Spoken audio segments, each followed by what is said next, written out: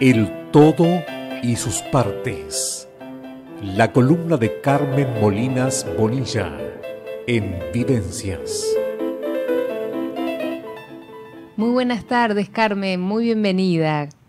Buenas tardes, ¿cómo estás, Andrea? Muy bien, un poquito demorada contigo, pero encantada de escucharte. Pero muy interesante igual lo de Analia Arigón. ¿Cómo Yo estás? Estaba escuchando y bueno, eh, saluda a la audiencia. Muchísimas gracias. ¿Cómo estoy? Estoy emocionada porque acabo de escuchar a, bueno, a quien fuera el tío político de Fernando, Sí, Carlos Maggi.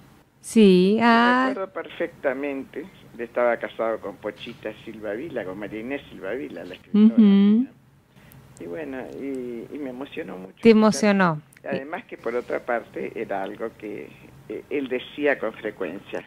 Vos sabés que-. Eh, Bueno, eh, eh, eh, todo lo que escuchamos este, acá de Maggi eh, lo sacamos de entrevistas que le tuvimos Sí, el, el gran gusto de, de, de poder este, realizarle, ¿no? Y, y creemos que es importante recordarlo y difundir este, sus palabras porque eh, es un hombre que ha marcado la cultura de nuestro país, ¿no? Bueno, retomemos, Carmencita, si te parece, eh, la, mm, la columna pasada tuya, estuvimos hablando, comenzamos a hablar sobre ciertos ritos y rituales que han estado presentes eh, desde la historia de la humanidad y que son el punto de partida de muchos juegos que hoy conocemos. Este, ¿Y mm, qué te parece entonces si continuamos con esos ritos y rituales que quizás eh, hayan comenzado como rituales religiosos, transformando este, la vida eh, en muerte para perpetuar eh, capaz que ese ciclo vital, ese orden cósmico. Entonces me gustaría que arrancaras por ahí a ver con, con esos ritos y rituales que han marcado de alguna manera al, juego, ¿no? Sí, eh, si lo habrán marcado, prácticamente eh, son el origen del mismo. ¿m? Eh, exceptuando el- los juegos funcionales eh, mo- psicomotrices de los niños pequeñitos, de los bebés. Pero eh, la religiosidad popular no solo incluye determinados ritos, mitos, Sí, eh, y hay actitudes de, un- de una población determinada, de una etnia determinada también, Mm, sino que además reflejan la historia y el devenir claro, de las mentalidades de las personas que estaban, eh, bueno, vinculadas con, con la actividad de, de- de juego o en la actividad deportiva, que es un juego también. claro, ¿no? claro. Entonces, eh, eh, los antecedentes mediatos del deporte, no Sí. inmediatos, mediatos, indican eh, que existían vínculos con la religión en este sentido. Claro, Eh, Carl Diem, que es un autor y un estudioso, Sí. respecto, apunta que todos los ejercicios físicos, en un principio, sí, fueron cúlticos y que durante mucho tiempo Mm. se siguió manteniendo el carácter religioso, ¿no? claro, Que ya lo citaba Huizinga, recordarás, Sí, en el sí. Homo Ludens. claro. Y bueno, y dice, pues, nada más ni nada menos que un escritor y poeta como Octavio Paz, que se refirió al juego como algo importantísimo, al, al extremo que dice que eh, en todo rito hay un elemento lúdico. mira, Y, y, por ejemplo, nuestro lujito uruguayo, sí, casi centenario, Daniel Vidarte, eh, eh, eh, ese antropólogo, Sí. investigador, escritor, poeta. Eh, eh, Daniel Vidar eh, escribió un libro con el que un día me sorprendió Fernando, mi esposo, me trajo ese libro y, y realmente, bueno, era recién editado, este, que se llama El juego y la condición humana, sí, bueno, que lo recomiendo para el que le interese el tema y para el que no le interese el tema también, porque lo va a hacer interesar. Claro. Bueno, eh, dice que los juegos infantiles son remanentes de antiguos rituales. O sea, ya, directamente. Ya lo afirma. Eh, lo afirma eh, y, no es que algunos juegos. Él dice que los juegos infantiles son remanentes de antiguos rituales y luego, por supuesto, que lo desarrolla en, su libro El juego y la condición humana, ¿no? Claro. Este, pero, eh, por ejemplo, eh, en el juego de pelota de, de, los aztecas, de los mayas, de los este, incas incluso, que tenían pocas diferencias entre sí. Sí. Eh, eh, eran escenarios de un rito. Sí. El de los mayas, por ejemplo, el victorioso ganaba la muerte por decapitación. Fíjate que el ganador sí, sí, sí. era el que moría, totalmente a la inversa lo que pasaba, bueno, muchísimo claro. este, eh, años y, distancias con el mundo romano, en el cual el circo, bueno, el que perdía. Claro, y ahí, y ahí nos este estás introduciendo algo que es importante, ¿no? Que había en esos juegos sacrificios humanos. ¿Cómo se entendían esos sacrificios esos humanos? Sacrificios humanos justamente en este caso era que mm, un poco, y bueno, saltando a, esta época, que, eh, y a un, a un tema muy desgraciado, que es eh, el, de los fanáticos mm, que se dicen musulmanes, que no son, porque la religión musulmana no tiene nada que ver con, con estas eh, con el terrorismo, ¿no? Pero desgraciadamente ellos, este, los que se hacen, eh, se autoinmolan para hacerse explotar con bombas, para matar a la mayor cantidad de, de gente posible, en fin, ellos van convencidos de que con eso ganan el paraíso. Claro. Entonces, aunque te parezca mentira, es como un juego. Bueno, pero en, e, en, el, en el caso este que estabas diciendo de los mayas y aztecas, también este el, hecho de no, no, no, el perder, eh, aún perdiendo la vida o siendo sacrificado, era tomado como un honor. Por eso, el juego de la pelota era el escenario de ese rito en que justamente no perdía eh, eh, la vida el que perdía no, no. juego, sino que perdía la vida, que en realidad era ganaba la muerte. Claro. en el que obtenía la victoria, y eso era un honor. Entonces, eh, eh, son cosas que de pronto a nosotros desde nuestra perspectiva actual nos cuesta un poco entender, ¿no? Claro, es entendido de, esta manera, como que el, sacrificio era entendido como un honor, como un triunfo de orden cósmico, ¿no? Sí, sí, por eso mismo. Entonces, eh, justamente con, con ese triunfo de orden cósmico, era eh, eh, renovar el círculo de la vida, que no por casualidad era una pelota, ¿no? Eh, la forma de la pelota es esférica. Claro. Ellos en general eran adoradores de, del sol, de la luna también, en fin. Claro. Lo que ellos veían con esa forma esférica que además tiene sus connotaciones de que no hay ni principio ni fin. Claro. En, en la esfera. Claro. De manera tal que por eso la pelota es un juego considerado eterno. Claro. Porque porque viene desde lo, más antiguo de la humanidad, ya es un sentido que trasciende incluso lo religioso. Y, y, Carmen, ¿sabés que me gustaría, porque ya que tocaba, este, eh, hablando del tema del honor, me parece que también era un tema que ya lo, lo, trataba, como lo trataste en otras columnas, este, Huizinga también, ¿no? Sí, sí. De la misma manera se unen y Huizinga, por supuesto que eh, recordemos situarlo en, la etapa histórica que era mm, eh, con toda la Segunda Guerra Mundial, en fin, en el cual había eh, este, un problema mm, así de muerte cuasi permanente. Claro. Entonces se manejaba mucho más esos términos de relación de vida y muerte, de vida y muerte.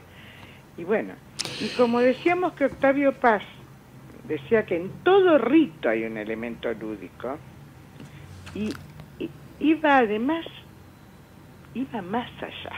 Claro. Él decía que el juego mismo es la raíz del rito, fíjate. El juego es la raíz del rito. Entonces, él decía que, que bueno, que la creación era un juego. Claro. Porque era lo contrario del trabajo. Porque cuando uno crea, tiene una, una predisposición a, a, la, a la victoria, al logro que ha obtenido. Y cuando se trabaja, lamentablemente, sobre todo en nuestra civilización, es como, bueno, aquello de ganarás el pan con el sudor de tu frente. Claro. Es como... Como que se deja, de, se deja de lado esa parte creativa que es tan importante para motivar a, los seres humanos, ¿no? Claro, entonces eh, eh este, Octavio Paz lo, lo separa muy claro y por eso dice que la creación es un juego. Claro. Porque es un disfrute. Claro. Lo otro es el trabajo. Entonces considera que los dioses son por esencia ya jugadores. Porque al jugar crean. Claro. Entonces eh, eh, dice que, que, distingue, hay un hecho que distingue a los dioses de los hombres, que entre es que ellos juegan y nosotros trabajamos. Claro. De manera tal que cuando nosotros jugamos, nos acercamos a los dioses. Porque creamos.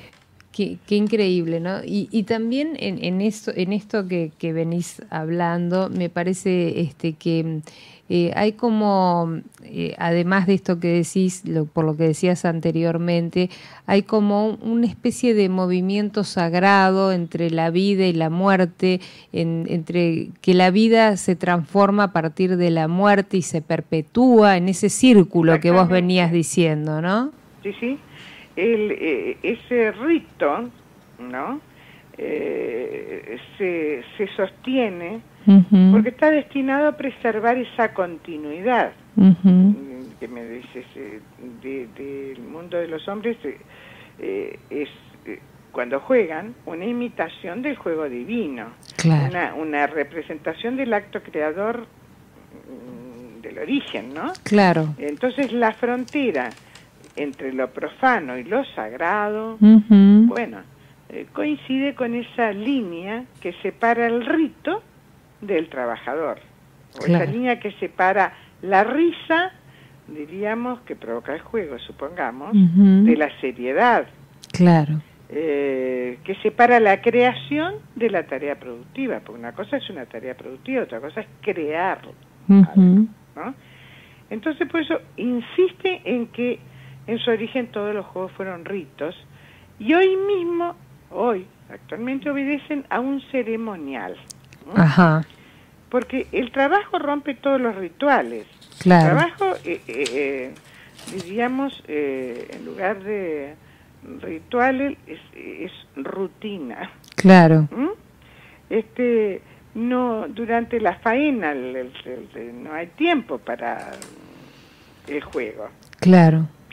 En cambio, en el rito reina esa paradoja del juego, eh, en que los dioses eh, este, eh, parecen sacar el mundo de la nada. Bueno, los chicos también. Claro. Los chicos se suben arriba de una mesa y esa mesa puede ser desde un estrado hasta, no sé, yo cuando era chica me acuerdo que me ponía dos sillas arriba de una mesa y jugábamos con mi hermano a la diligencia. Claro. Claro, estábamos, era en la época de los cowboys. Claro. que veíamos muchas películas de esas. Eh, hoy los chicos eh, se meterán arriba, eh, debajo de la mesa o se subirán y jugarán a que es un cohete interplanetario, ¿no? Claro. Pero el hecho es que estaban, que se crea algo que rompe e, este, totalmente con el orden preestablecido que daría el, eh, la rutina o el trabajo. Claro. y cambiamos, creamos. Y, ahí también me parece, lo, por lo que tú estás diciendo, que ese ceremonial al que hacías referencia también está puesto en práctica. Exactamente, sí. Este, entonces, eh, ¿qué pasa?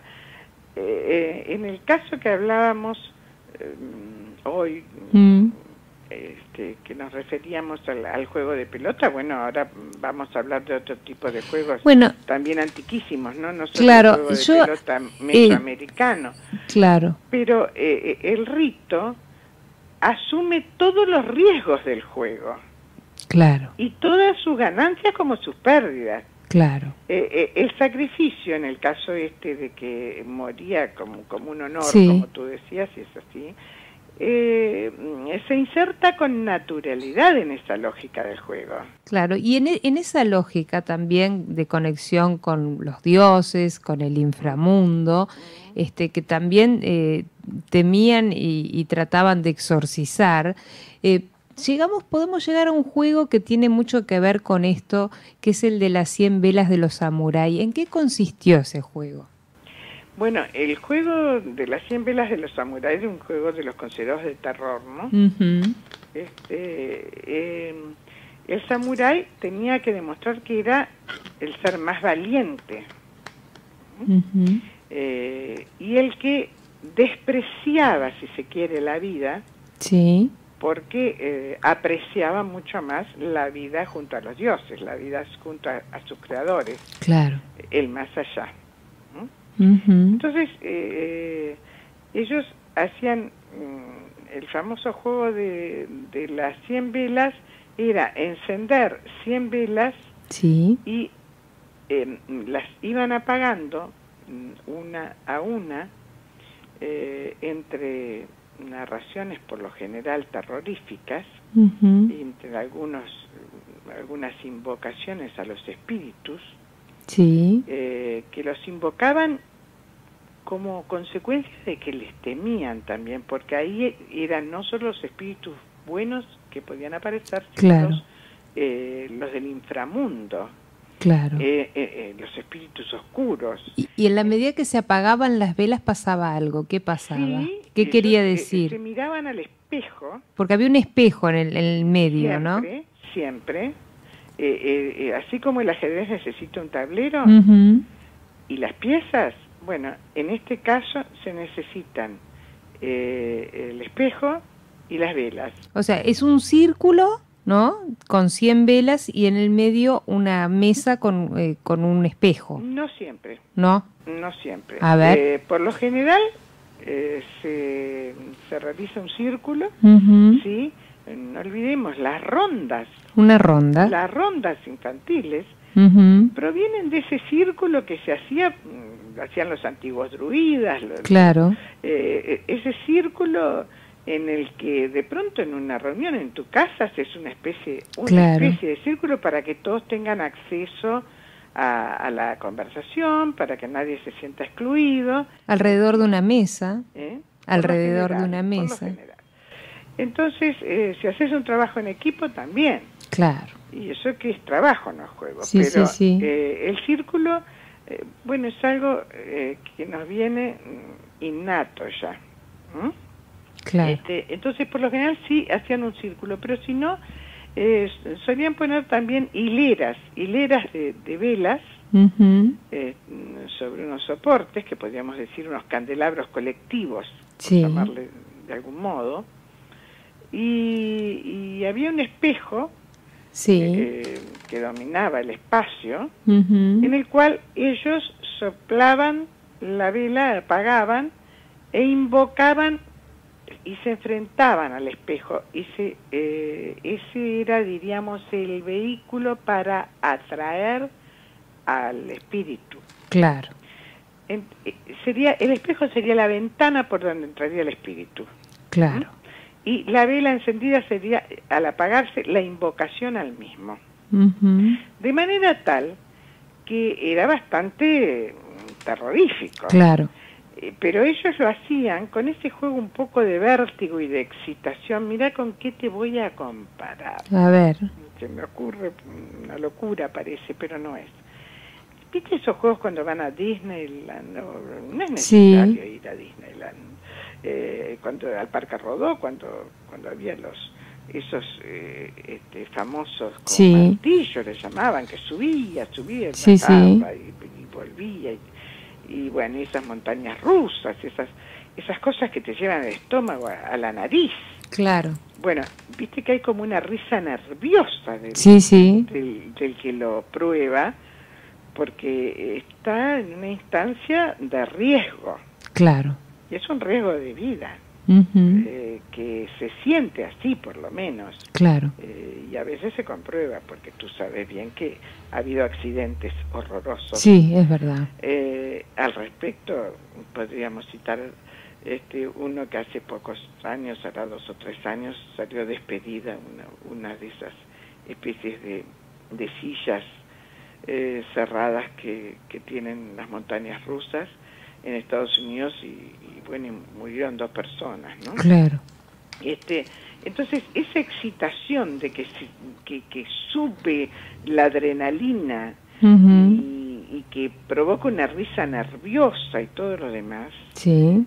eso también era lo que ellos sentían con otras, de otras maneras, porque había todo un ritual y, había una ceremonia y, y no había una risa allí, pero internamente había como una satisfacción de, de probar y su valentía. Claro. Y aquel que no se animaba, ¿sabes que en ese juego eh, había quienes dejaban solo 99 velas apagadas, no 100? Ah, mira. Porque con la número 100 se abría el inframundo, decía. Claro. Entonces le temían tanto a la entrada de los espíritus oscuros claro. que no se animaba. Bueno, el que no se animaba era objeto de burlas claro. e incluso de, degradaciones, porque ya no tenía la capacidad de estar en el grado de samurái. Así que eh, era un poco una prueba que son esos ritos iniciáticos que se dan eh, y se han dado siempre y en la actualidad se dan en algunas sociedades eh, secretas o cuasi secretas y se dan en esas fraternidades en Estados Unidos, en Inglaterra, por ejemplo, que es muy común en las universidades, en los colegios, eh, que para entrar a la fraternidad tenés que hacer ese ese rito iniciático, claro. Mm, que es como jugar a las prendas, pero son unas prendas un poco más. Pero detrás de, claro, pero detrás de estos ritos este, iniciáticos eh, hay eh, simbologías, arquetipos que, que, tienen que ver con, con, un significado, ¿no? Este, que... En este caso de, de las 100 velas era justamente la valentía y eh, ser capaces de desafiar a los dioses claro. Eh, para entrar en el inframundo y para enfrentar el enemigo mayor que podían tener, que era el espíritu oscuro. Pero entonces había un elemento lúdico. Claro. Porque era un juego, no era, no era algo que, que fueron a producir, que tuvieron un producto acabado, como es el trabajo. No, era un juego, un juego iniciático o un juego de valentía, pero era un juego. Entonces, por eso es que Octavio Paz dice, el juego es la raíz del rito. ¿eh? Y, también... En su origen todos los juegos fueron ritos claro. y hoy mismo dicen obedecen a un ceremonial. Y, tú hoy, mismo. hoy este, publicabas, eh, me mandabas una foto de un tablero en forma de serpiente enroscada que es de un juego egipcio, ah, ¿no? Este, ¿qué, qué, por qué el tablero en forma de serpiente? A ver, contanos un poquito de ese juego. Bueno, ese juego egipcio es un poquito más posterior, mm. a, no mucho. Sí. O sea, está... Eh, quiero decir, es, a ver, es un poco más posterior al, no a los samuráis de esperanza, mm, sino al, a ver, al origen del juego en sí. porque necesitan un elemento. Cuando se necesita un elemento, ya eh, eh, en un principio los, los juegos no necesitaban de elementos, es más, no, no los tenían porque no sabían cómo.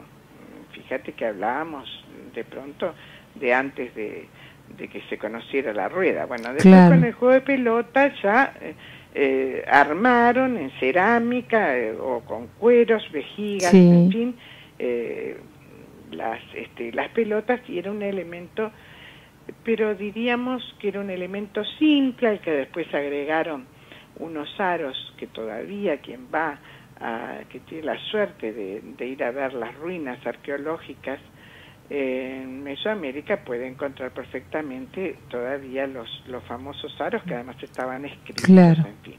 Bueno, eh, en ese, en el juego de los egipcios eh, se han encontrado bueno, ya e, e, era algo muy trabajado. Sí, sí. Porque es una serpiente de cerámica mm. que está enroscada sobre sí misma y volvemos al círculo. Claro. Y volvemos al espiral y vamos hacia los griegos cuando hablábamos la vez pasada de la rayuela espiralada, ¿recuerdas? Claro, claro. Entonces, ellos tenían unas, eh, unas piecitas semejantes al trompo, que el trompo también era un, elemento muy utilizado para el juego y para la adivinación y para eh, los, los ritos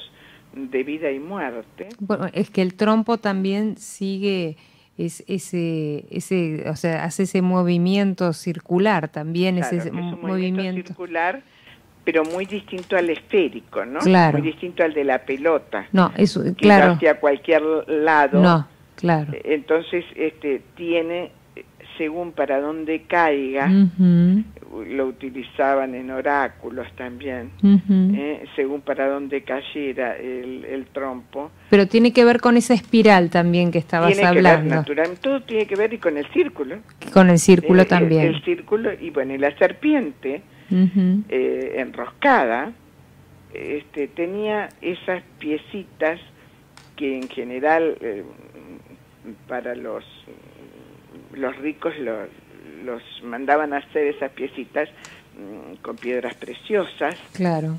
Porque consideraban que ese juego era un ritual de, vida y muerte. Sí. Y que, era lo más importante que la vida y la muerte. Claro. algo hicieron las e, e, esas eh, faraónicas eh, este, nunca mejor llamadas construcciones con las pirámides, ¿no? este, esos monumentos a los muertos. Entonces eh, había esas piecitas eh, iban mm, moviéndose de acuerdo a, determinadas este, normas eh, en, en las cuales entraba mucho el azar Claro. Un poco el juego, no sé, de la oca nuestro. Sí, sí. Tiras un dado y avanzas tantas casillas. Sí, sí, es que creo que fue el, origen del juego de la oca, ¿no? Claro, eh, eh, uno, uno de los orígenes, sí. Este, y entonces, claro, vas avanzando, vas avanzando, vas ganando vida y vas perdiendo vida, porque vas ganando vida y vas ganando muerte. Claro. Porque el final cuando, cuando se van acercando al final, se van acercando a la muerte. Pero como es una espiral,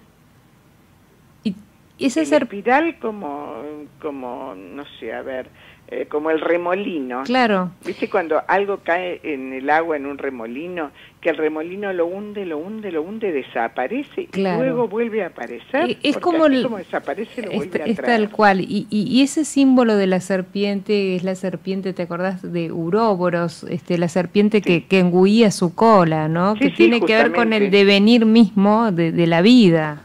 Es exactamente eso. Entonces, eh, bueno, hay toda una liturgia allí. Claro. Y hay un enigma, porque en realidad el gran enigma del ser humano es el de la vida y la muerte. Claro, del de, del de ese devenir que, que estamos en, en, constante aprendizaje y cambio, ¿no? Sí. Entonces, eh, justamente eh, ese, ese rito lo, lo asimilaban al juego y, y bueno, y cuando iban avanzando hacia la muerte, era como un poco reasegurarse que al llegar podían empezar nuevamente. Empezar nuevamente. Entonces es un juego, eh, el de la serpiente, eh, realmente, y el símbolo mismo de la serpiente que une cabeza con cola, es, es un símbolo como es el círculo, y el símbolo mayor es la esfera. Claro. Porque es hacia todos lados eh, la misma curvatura. Y por eso son tan importantes y llegó hasta nuestra era y seguirá y continuará de una manera o de otra la pelota, claro. que es esa esfera, las canicas, que nosotros le decimos bolitas, sí. Eh, las, las bolitas que son eh, esas pequeñas esferas también eran un juego que utilizaban mucho los egipcios, usaban, utilizaban mucho los griegos también. ¿eh? este, eh, porque claro, y allí está la sociedad entera, porque está el bochón, que es el, eh, la bolita gorda, la que de pronto mueve a varias más, y está la bolita común, y está la bolita más pequeña, claro. y allí en esos juegos de bolitas estás encontrando los roles que juega el ser humano. Claro. los roles de poder, y, los que lo siguen por los que lo siguen porque porque quieren seguir al al líder y los que son empujados por el líder cuando se tira un bochón y le empuja una bolita y le pega otra y bueno y entonces bueno según las reglas que se ponga porque en el juego siempre hay reglas claro aún en el juego libre porque cuando hablamos Mm, de reciente, decía yo que de pronto con mi hermano nos subíamos a la mesa, poníamos dos sillas y era la diligencia. Bueno, caramba, no era cuestión de poner eh, una sola silla, o no era cuestión de no treparnos, porque la diligencia obligaba a treparse a algún lado. Claro. Si jugábamos a un túnel, nos metíamos debajo, ¿no? Sí, sí, tenían... eso ya son reglas. Tenían que seguir ciertas reglas. Eh, Carmen, estamos en los minutos eh, finales y me gustaría que dieras un, cierre a esta temática para seguir este, en tu próxima columna del miércoles, sí abordando, porque es un tema que es, este, es circular, tal cual, ¿no? seguimos, este, seguimos transitando por ese círculo del juego, pero me gustaría dejarte la palabra para que puedas cerrar la, la columna de hoy. Bueno, mira, yo te diría, esto mm, es muy apasionante porque entra toda la historia de la humanidad, el estudio de la antropología y creo que em, no se agota en, una charla que tengamos de unos pocos minutos. No, no, desde Entonces, creo que tendríamos que, que seguir, si es que a la audiencia le interesa, y si no ya nos lo hará saber. No, desde ¿Eh? luego que interesa, hay este mucha gente interesada y que ya este, tú ves los comentarios que te hacen y que yo te hago llegar y que también te hacen a ti a través de, las redes sociales. Este, es un tema que importa. Veremos entonces la próxima semana, si te parece, de seguirlo eh, abordando. porque habría muchos, por ejemplo, para hablar de los chinos, eh, civilización milenaria eh, y que tiene antecedentes de, juegos que nos han llegado hasta el día de hoy. Claro. Este, habría mucho para hablar. Bueno. Eh, tanto de, de, los de los orígenes como de cómo han llegado y siempre en esa forma no lineal sino circular hasta nuestra época. Perfecto. Y así este, seguimos, eh, aunque parezca mentira, este, remontándonos a, tanto, a tantos años de historia, eh, de alguna manera igual estamos conectados con los juegos de hoy en día porque estamos yendo a sus orígenes y que siguen vigentes, ¿no? Además siguen vigentes porque eh, los juegos de hoy, incluso los virtuales, sí bueno, indudablemente siguen unas reglas. Claro. y siguen un ritual. Claro. Carmen, ha sido un inmenso placer dialogar contigo, se me han ido los minutos volando. Eh, te agradezco infinitamente tu tiempo, tu conocimiento y esa buena disposición con la que siempre nos abrís este, las puertas de, tu casa para, para estar junto a nosotros aquí en Vivencias. Para mí es un placer. Muchas gracias a ti y saludos a toda la audiencia. Bueno, muchísimas gracias Carmen. Nos encontramos el próximo miércoles a las 17 horas con tu columna del todo y sus partes. Hasta el miércoles. Muchas gracias, un beso enorme. Los invito a hacer ahora una breve pausa y quedan abiertas las líneas de comunicación y enseguida volvemos. Vivencias.